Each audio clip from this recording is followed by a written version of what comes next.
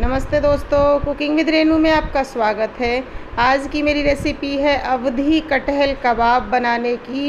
ये कबाब बहुत ही टेस्टी लगते हैं खाने में। इनको बनाना भी बहुत आसान है और इनको यहाँ पर मैंने टोमेटो सॉस के साथ लिया है। आप हरी चटनी के साथ भी ले सकते हैं। तो ज़्यादा समय ना आपका ख़राब करते हुए चलिए हम वीडियो को स्टार्ट करते हैं और देखते हैं अवधि कटहल कबाब कैसे बनाते हैं। कटहल के कबाब बनाने के लिए यहाँ पर मैंने ये आधा किलो यानी हाफ़ के जी कटहल लिया था। इसको छील के मैंने इस तरह से पीसीज में कर लिया है और इसके बीज भी मैंने अच्छे से छील लिए हैं। तो ये कटहल हमारा तैयार है। यहाँ पर हमने एक प्रेशर कुकर ले लिया है। इन कटहल के पीसेस को हम इस प्रेशर कुकर में डाल देंगे। काटने के बाद हमने इनको धो लिया है अच्छे से।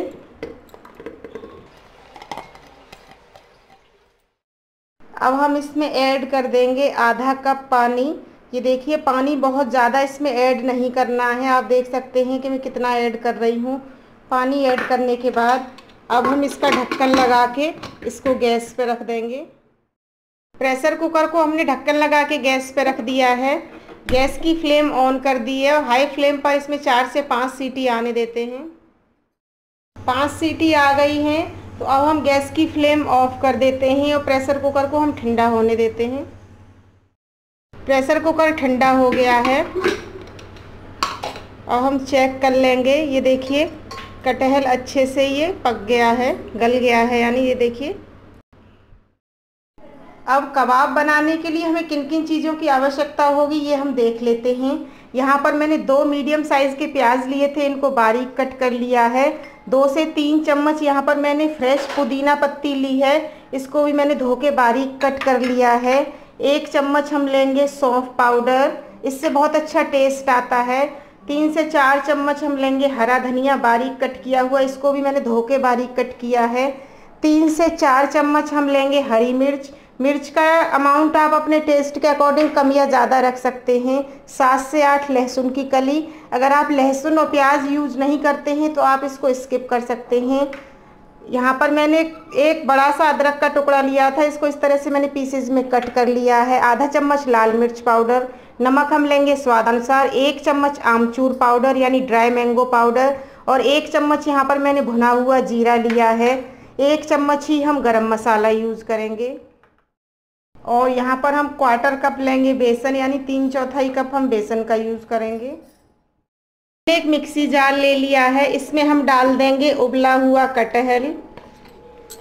साथ में हम इसमें डाल देंगे लहसुन की कली, अदरक, और इनको हम पीस लेते हैं, यानी इसको हम क्रश कर लेंगे। ये देखिए, कटहल को हमने पीस लिया है। आप देख सकते हैं कि लहसुन, कटहल और अदरक ये इस तरह से हो गए हैं तो इनको हम एक मिक्सिंग बोल में ट्रांसफ़र कर लेते हैं।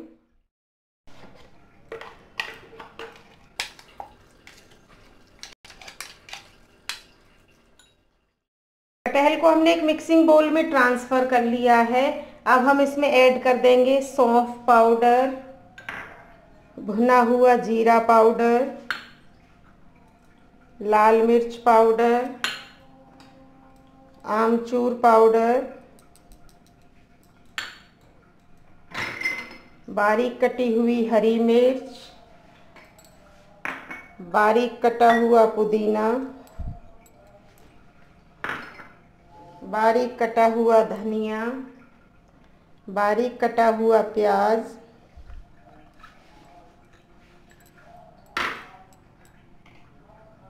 एक छोटी चम्मच गरम मसाला, नमक स्वादानुसार। सारी चीज़ों को अच्छे से मिक्स कर लेते हैं। सारी चीज़ों को हमने अच्छे से मिक्स कर लिया है। अब हम इसमें लास्ट में ऐड कर देंगे बेसन और बेसन को हम अच्छे से मिक्स कर लेते हैं।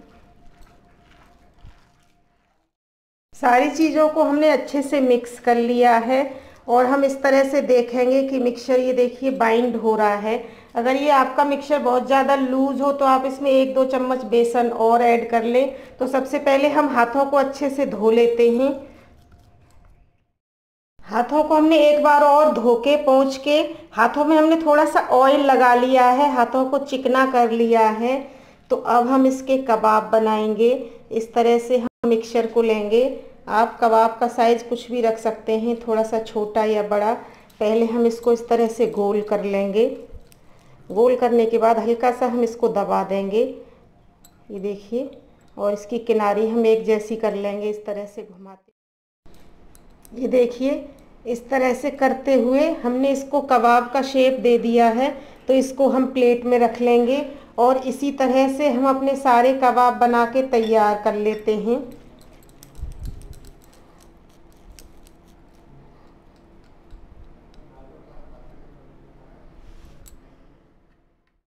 हमने सारे कबाब बना के रेडी कर लिए चलिए इनको फ्राई कर लेते हैं। गैस पे हमने एक पैन पहले से रख दिया था, उसमें ऑयल डाल दिया था। ऑयल अच्छे से गर्म हो गया है। तो जो हमने कबाब बना के तैयार किए थे, उन कबाब को हम इस पैन में डाल देंगे। एक बार में बहुत ज़्यादा नहीं हम डालेंगे। जितने आसानी से आ जाएँगे, उतने डालेंगे। और गैस की फ्लेम थोड़ी सी कम कर लेंगे। इनको एक साइड सिकने देते हैं, उसके बाद पलटेंगे। कबाब को हमने अलटते पलटते हुए सुनहरा होने तक फ्राई किया है।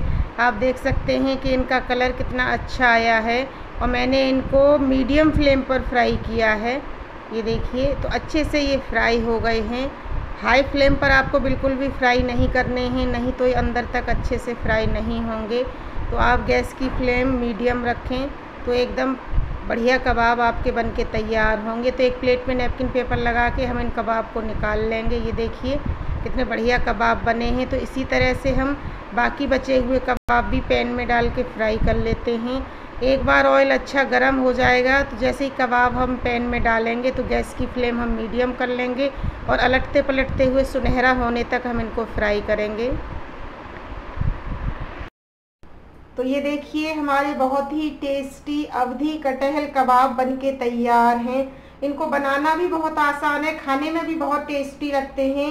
इसको मैंने टोमेटो सॉस के साथ लिया है। आप हरे धनिए की चटनी के साथ या पुदीने की चटनी के साथ भी ले सकते हैं। तो ये थी फ्रेंड्स आज की मेरी रेसिपी। अगर आपको वीडियो अच्छा लगा हो तो प्लीज़ मेरे वीडियो को लाइक कीजिए, मेरे चैनल को सब्सक्राइब कीजिए। मिलते हैं नेक्स्ट वीडियो में। Thank you. Bye bye.